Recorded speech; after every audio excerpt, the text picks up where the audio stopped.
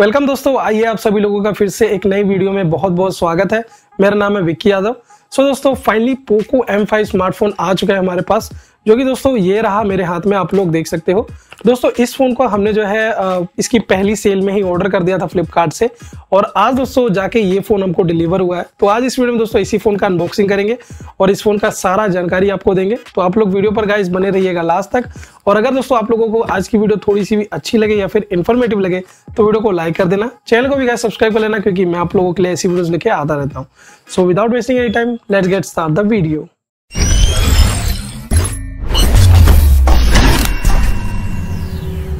तो हमेशा की तरह दोस्तों सबसे पहले फ्लिपकार्ट के बॉक्स को ओपन करते हैं।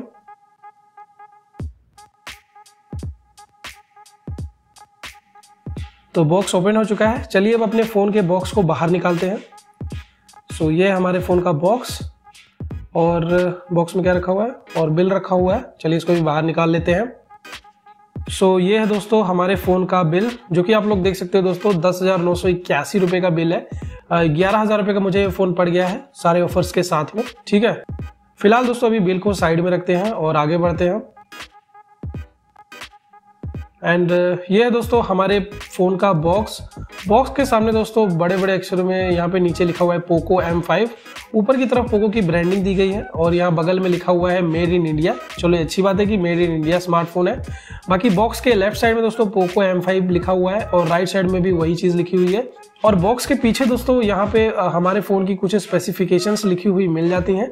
और ये जो फ़ोन है दोस्तों ये मैंने आईसी ब्लू कलर में मंगवाया है और फोर जी बी वाला वेरिएंट मंगवाया है ओके ना चलिए दोस्तों अब बॉक्स को ओपन करते हैं। सो यहाँ पे वस्त्र हरण तो करने को नहीं मिलेगा ओके तो यहाँ पे आ, सील्स दी गई तो चलिए इन सील्स को ब्रेक करते हैं और फिर अपने बॉक्स को ओपन करते हैं।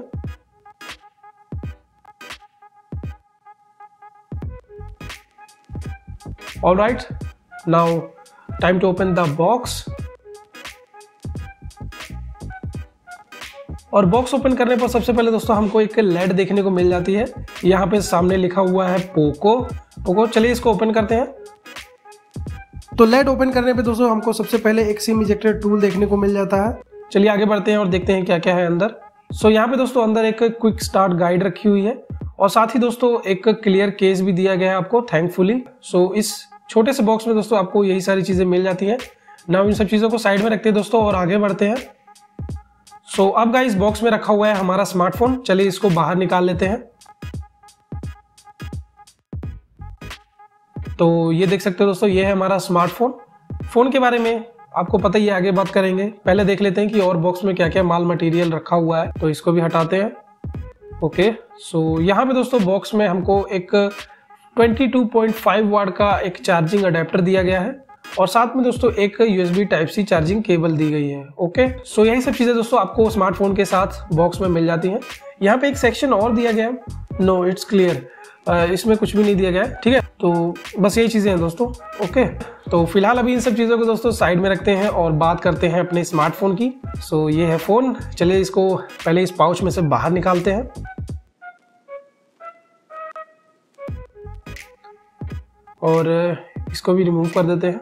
Now guys you can see the look and design of this phone design दोस्तों, इस फ़ोन का मुझे थोड़ा सा सिमिलर लगा है Poco M four five G की तरह।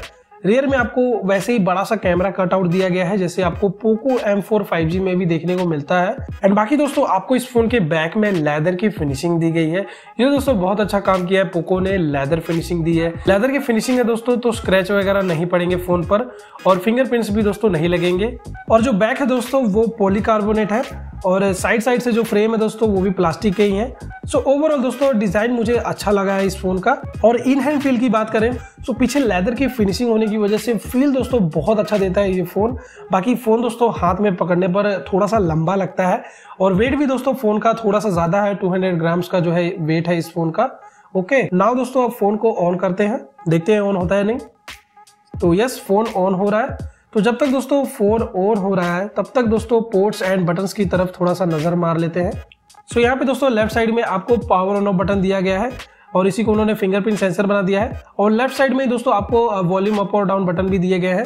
फ़ोन के ऊपर की तरफ़ दोस्तों आपको आई आर ब्लास्टर दिया गया है और 3.5 पॉइंट mm हेडफोन जैक दिया गया है। सेकेंडरी माइक्रोफोन आपको नहीं दिया गया है इस फ़ोन में ओके और फ़ोन के राइट साइड में दोस्तों सिम ट्रे दी गई है, जिसमें आप दो सिम कार्ड एक मेमोरी कार्ड लगा सकते हो। एंड नीचे की तरफ़ दोस्तों आपको स्पीकर्स दिए गए हैं चार्जिंग पोर्ट दिया गया है और प्राइमरी माइक्रोफोन दिया गया है ओके ना दोस्तों फ़ोन अभी ऑन हो चुका है बट यहाँ पे फ़ोन को जो है सेट करना पड़ेगा। तो चलिए पहले फ़ोन का जो है कंप्लीट सेटअप कर लेते हैं, फिर आगे बात करते हैं ओके